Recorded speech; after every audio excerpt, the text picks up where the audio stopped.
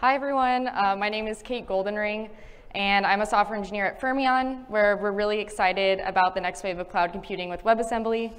And personally, I'm really excited to be kicking us off for the day. Um, I'm curious for how many of you out there is this your first WASM day?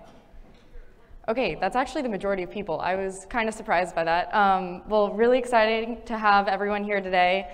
And um, if it is your first time, we have sessions from 9 a.m. to 5 p.m. And as Liam mentioned a little earlier, uh, we do have a WebAssembly channel where you can keep the conversation going today and between um, WASM days year by year. And then if you are tuning in online, there is going to be a Q&A section on Meeting Play where you can ask your questions there. Uh, since I'm kicking us off, I should probably explain what WebAssembly is um, but instead of giving the technical answer, uh, with WebAssembly in particular, when people ask what it is, they seem to be asking, uh, should I care about it?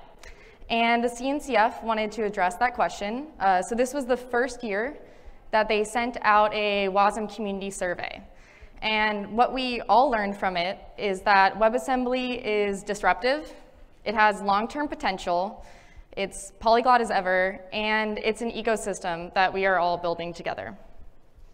So the results from the survey were published this morning, I think about 30 minutes ago, and the link to it's there.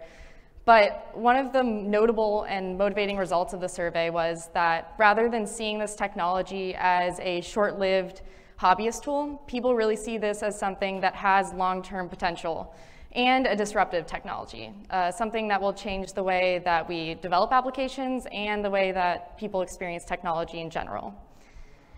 And companies of all sizes are already using WebAssembly. Amazon's using it in their Prime service, Figma, Adobe, um, and Google Earth. And so it's already here, um, but it's up to us to help it realize its full potential as a mainstream technology. And the CNCF survey also pointed to some areas where we can focus in and where we can help build out this ecosystem together. So WebAssembly started with the goal of bringing more languages to the browser, such as writing a C++ app for the web. And it certainly succeeded in that goal of being polyglot. You can see that people are using all different types of languages for WebAssembly development. But there are still some, there's still some friction and some gaps. In fact, three out of eight of the sessions today, of the full length sessions today, are focusing on the developments in Java, Python, and C Sharp uh, to, support a better and more fully featured WebAssembly both in the browser and on the server side. And this is really important because the more languages we can bring into this space, the more people we can bring into this space and the bigger community we can have here. And people are not only using a lot of languages with WebAssembly, but there's also a lot of use cases. And what was particularly interesting about this is that when people were asked uh, what they're hoping to build with WebAssembly, the first answer in the CNCF community was not uh, web development, which kind of surprised me, so I did a reference check.